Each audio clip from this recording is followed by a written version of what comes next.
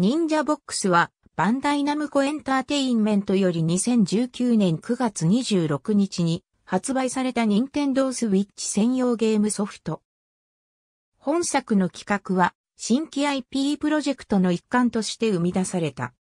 本作のプロデューサーである佐竹真也はもともとお笑い好きで新人時代の2009年にマッスル行進曲を手掛けた実績があり、本作においても誰かを笑わせたいという気持ちと子供たちを喜ばせたいという気持ちがあったと社内のインタビューの中で振り返っている。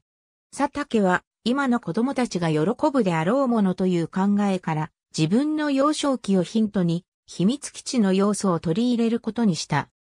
また企画を始めるにあたりプロの意見を取り入れたいと考えた佐竹は児童向け漫画雑誌月刊コロコロコミックの編集部に取材をし、今日の子供たちは親との関係が近く、リビングで勉強することが多いという話を聞く一方、本当は自分の部屋も欲しいのではないかという話をした。その結果、主人公の設定は自分の部屋を持たない少年に決まった。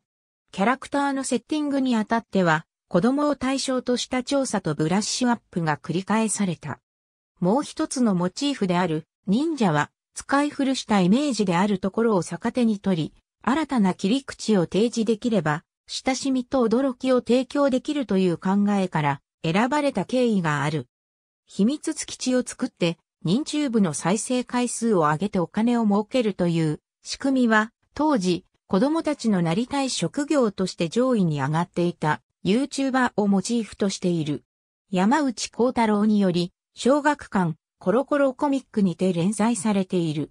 2019年8月8日よりコロコロチャンネル、バンダイ YouTube チャンネルにて配信されている。アニメーション制作はタツノコプロ。子供たちがスマートフォンで動画を見る傾向にあることを踏まえ、ウェブアニメ版の1話あたりの長さは10分程度になった。また、主題歌にも親しめるよう振り付けが用意された。ありがとうございます。